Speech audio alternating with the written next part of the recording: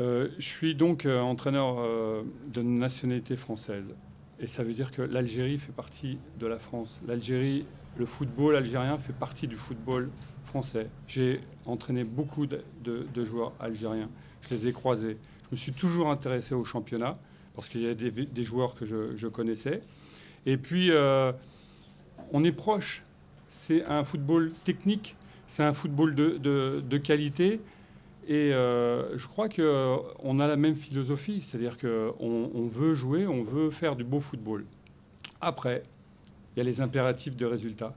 Et quelquefois, on, a, des, matchs un peu fermés, un peu euh, euh, violents, en tout cas agressifs. Donc ça ne fait pas un bon football. Donc le football euh, algérien est un football euh, qui progresse par la professionnalisation.